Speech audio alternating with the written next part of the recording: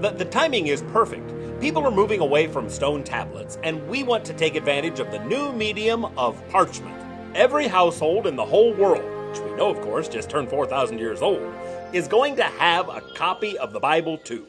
We were sitting around the studio when one of our writers came in with a script he said was full of innuendo. well, naturally, we laughed at that, but then we tried to grasp it, and it was hard. Bethesda Beers patented Fun Toxicants coats a patient's enjoyment zone, releasing the brain's natural neuroinebriants.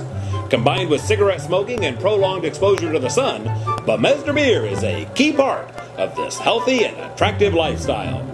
These beings have been studying our communications since the first hieroglyph. Back then, only the smartest of the smart knew how to write, so they naturally assumed that we were brilliant creatures. Dirk Madman, unemployed actor.